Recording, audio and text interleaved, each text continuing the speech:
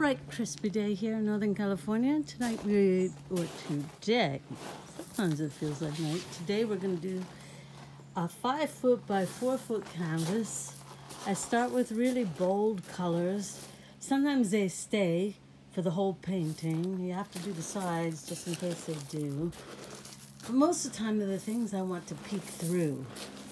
So I just do glazes. Some parts are a little bit more glazy others strong.